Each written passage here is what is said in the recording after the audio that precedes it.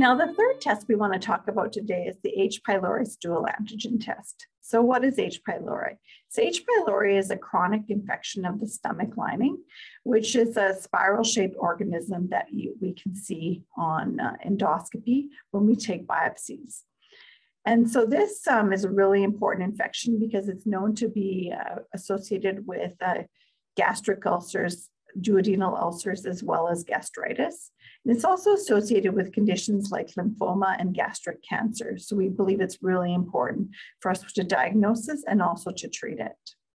And just to reiterate how important this uh, infection is, in 2005, uh, Marshall and Warren won a Nobel Prize in physiology uh, for the discovery of this organism and the, its role in GI diseases. And I think that really play, shows you how important it is that this discovery and the fact that we have, are able to now diagnose it and treat it.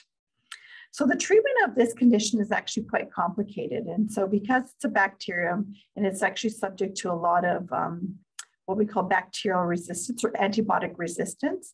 And so you need to take uh, often a combination of antibiotics as well as a proton pump inhibitor for usually two weeks to make sure that you can adequately treat it.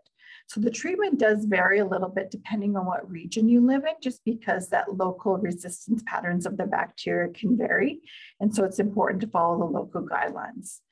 Furthermore, because it's such an important infection, we actually often rule out, do a test to rule out um, to make sure that you've eradicated this bacterium because we want to make sure that um, you're not continuing to be at risk from the uh, conditions that you can get associated with this infection.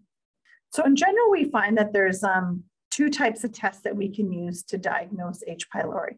First is an endoscopic test, which is an invasive test where you do endoscopy and biopsies, which we uh, often do, especially when we find uh, ulcers when we are scoping people and uh, find this condition or we find um, evidence of gastritis. We want to make sure that we treat this.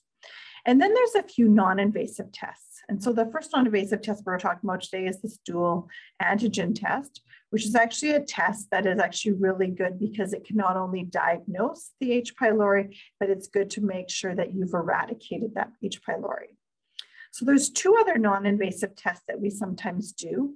One is a blood test, and the blood test sometimes people would like to prefer to do, but it can only really confirm an infection or a past infection. It cannot um, tell us that it's been eradicated. It just says that at some point in time you had H. pylori.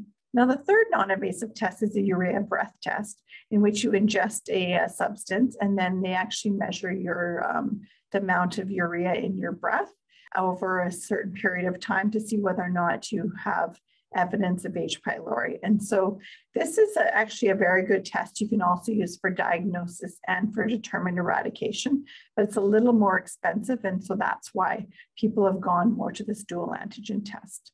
The one thing to remember is that because this is an infection and often um, that uh, acid can a little bit suppress it or medications can suppress the acid that we actually you need to be off antibiotics as well as off proton pump inhibitors when you get these tests done to get the best result the most accurate result